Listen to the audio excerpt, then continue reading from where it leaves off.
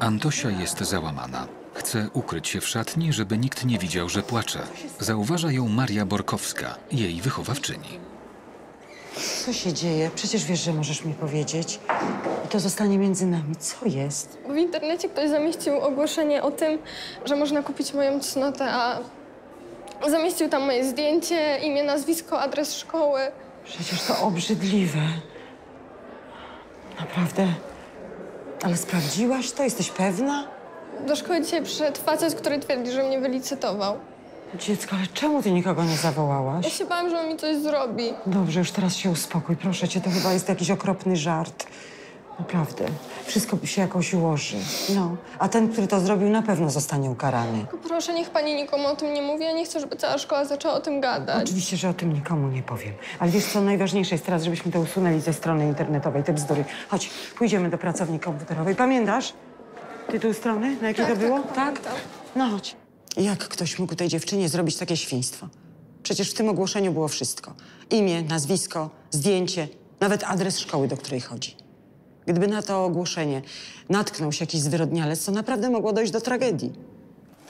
Gimnazjalista Darek Zatoński postanowił ośmieszyć zorganizowane w szkole zajęcia z pierwszej pomocy. Chłopak razem z kolegą chce nakręcić film, który udowodni, że takie kursy nie mają sensu. Będzie uzupełnić brakujące miejsce na tablicy. Alo, czy wszystko macie tutaj gotowi jesteście? A Zatoński, proszę się skupić na lekcję. Tak, przepraszam, po prostu się Dobrze. trochę słabo poczułem. Tak? A co się, co się dzieje? A nie, zawróciło mi się w głowie, ale już jest w porządku. Mhm. No to może do higienistki byś. Nie, nie, nie, nie, nie, jest okej. Na pewno, tak? Dobra. To w takim razie zaraz będziemy posłuchać piosenkę w całości i później z przerwami. To teraz posłuchamy tą piosenkę. Chwileczkę będzie, zaraz. Darek, Darek, co się stało? Darek! Darek! Nauczyciel myśli, że chłopak zemdlał. Upadek Darka traktuje bardzo poważnie. Natychmiast sprawdza puls i wzywa higienistkę. Darek! Darek! Ale jaja. Ale śmieszny, no. A co ci się do głowy, no? No mieliśmy dzisiaj takie kursy pierwszej pomocy i chciałem zobaczyć, czy Bardzo ktoś umie mądry. udzielić, no. Jezu, jesteś kretynem, tego przynajmniej nie trzeba sprawdzać. To widać na pierwszy rzut oka. Darek, teraz idź do łazienek, zrób ze sobą porządek, a wy wracajcie do ławek. No jestem, co się stało? No, niestety niepotrzebnie cię wołaliśmy. Jak to? No to mamy głupi żart z, naszy, z naszego ucznia. Ty sobie żarty robisz? A, Tak. No, Co, poważny się. jesteś? Mamy biegać za tobą? no, przepraszam panią, bo pewnie pani biegła, no i się pani zmęczyła zapewne, no. Darek, Sasufi, idź do łazienki, zrób sobie porządek, śmieszne, proszę bardzo. a my do lekcji. I teraz puścimy tą piosenkę, posłuchamy i będzie sobie uzupełnić brakujący. Ale Beka nie wierzę, wszystkich kompletnie zamurowało. Ciekawe jak się nagrało, ale to jeszcze nie koniec. Mam pomysł na jeszcze jeden genialny numer. Patrys Nieckowski, wychowawca klasy trzeciej C gimnazjum, jest oburzony zachowaniem Darka na lekcji francuskiego. Nauczyciel zastanawia się, jak ukarać chłopaka. Ale wyobraź to sobie, jak można tak się wygłupiać na lekcji, no. No wiesz co, no z Darkiem jest ciężko. Ja dzisiaj miałam na przykład kurs pierwszej pomocy. Słuchaj, chłopak przez cały czas wygłupiał się, wszystkim przeszkadzał, cały czas. No ale jak myślisz, no co mamy z nim zrobić, no? Wiesz co, mówiąc szczerze, to nie wiem, co ci doradzić. Moim zdaniem to obniżenie mu oceny z zachowania w ogóle go nie obejdzie. Nawzywać jego rodziców z powodu takiego wygłupu chyba też nie ma sensu, prawda? No niestety chyba nie. Ale wiesz co? Ja zrobię mu dodatkowy kurs pierwszej pomocy. O, to mi się podoba, no. No tylko, że to będzie kara bardziej dla mnie niż dla niego. Słuchaj, Zatoński naprawdę potrafi człowieka wyprowadzić z równowagi. No ale ja, jak można tak się zachowywać szkole? On mi, no, on mi strasznie denerwuje, naprawdę. Patrice, przecież dla nich takie zachowanie to jest wielki wyczyn, prawda? Założę się, że zaimponował całej klasie, tak? No, niestety mu się udało, prawda. Tymczasem Maria Borkowska i informatyk Piotr Gądek próbują usunąć aukcję, na której ktoś wystawił dziewictwo 18-letniej uczennicy. Dziewczyna nadal nie domyśla się, kto mógłby jej zrobić takie świństwo. To może usunąć to z tej strony, bo nie chcę, żeby jeszcze ktokolwiek się na to natknął. Jasne, zaraz napiszę do administratora portalu i usuną to w ciągu godziny. Myśli pan, że to pomoże? No nie mają innego wyjścia. Chodź na chwileczkę. A powiedz mi, A ty się nie domyślasz? Kto to mógł zrobić? No. To znaczy, Oskar, mój chłopak, on twierdzi, że to mogła być któraś z moich koleżanek, ale nie wiem, czy one byłyby w stanie zrobić mi takie, taki głupi żart. A powiedz mi, pokłóciłaś się z kimś ostatnio? Właśnie, właśnie nie. Bo wie pani, koleżanki to one nawet nie wiedzą, że ja jeszcze nigdy nie spałam z chłopakiem. Ale na imprezie chyba się wygadałam. No, wszystko będzie dobrze. No, chodźmy. No i jak tam? Nie będzie po tym śladu za godzinkę. E, jak zgłosisz sprawę na policję, po adresie IP powinni dojść do tego, kto to wrzucił. Mm, Tylko wtedy zrobi się o tym głośno, a nie chciałabym tego. Nie no, obiecuję ci, że nie zrobimy niczego bez twojej wiedzy, tak? No i głowa do góry. Mało prawdopodobne, żeby ktoś przez przypadek trafił na tę stronę. A jeżeli ten, kto to zrobił, wszystkim powie i... No miejmy nadzieję, że, że nie, że wszystko się dobrze skończy. No, chodź, odprowadzę cię. Dziękuję. Do widzenia. Do widzenia. Mam nadzieję, że mailgontka zadziała i to ogłoszenie jak najszybciej zniknie z tej strony. Trzeba być naprawdę mega podłym, żeby zrobić takie świństwo. Chłopcy z trzeciej D liceum zaraz rozpoczną lekcję WF-u. Oskar jest zdenerwowany. Wie, że jeśli wyjdzie na jaw, że to on wystawił na licytację dziewictwo Tośki, będzie miał duże problemy. Musisz mi pomóc. Co znowu? Był jakiś koleś w szkole, gadałem z Taśką. Chciał jej zapłacić za aukcję.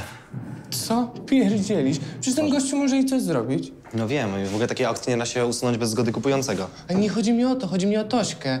Przecież on może jej zrobić jakąś krzywdę. No wiem, przede wszystkim to w ogóle trzeba usunąć ogłoszenie, trzeba zacząć wszystkie ślady. Mam nadzieję, że to się w ogóle jakoś nie rozeszło, bo tak to będzie straszny przypał. Tośka byłaby załamana. No tak. No nic, w każdym razie, słuchaj, zdobyłem od niej numer tego kolesia. Trzeba z nim jakoś pogadać. Zrobisz to dla mnie? Sam sobie to załatwiaj. Ty się wpakowałeś, to No teraz... tylko wiesz, no w tym rzecz, że patrz.